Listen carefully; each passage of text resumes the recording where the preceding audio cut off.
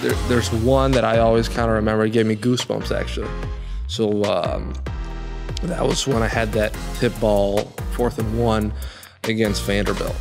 Vaughn back in now. They're going to fourth ball. and one. There go. Ball on the inside. That's what you do. Play action.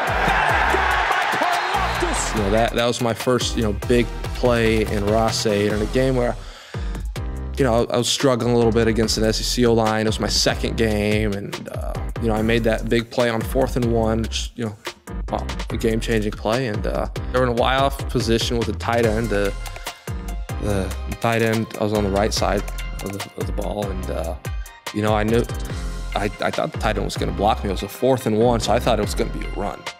You know, they chose to uh, to arc the tight end and down block the tackle, which would leave me free and uh, you know, instinctively, uh, I went up field. I saw the quarterback going to throw it, get my arm out, and uh, you know, attempt to bat the ball down, which is what I did. And then, you know, in the past, I've had guys, you know, after tip ball, catch the ball and go forward. So I had to grab the quarterback and throw him down just to make sure there was no chance of that. And uh, I remember just making the play, and as the stadium just roaring and getting goosebumps down my arms, and it was it was great. It was great. I'll never forget that.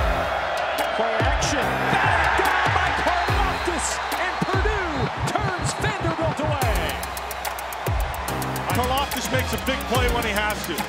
He came off the edge, got his hands up, and knocks it down. I've seen a video of uh, Coach Brohm seeing it and, and, smiling and laughing, and after that play, and that makes that made me happy when that happens. I like making Coach proud. So.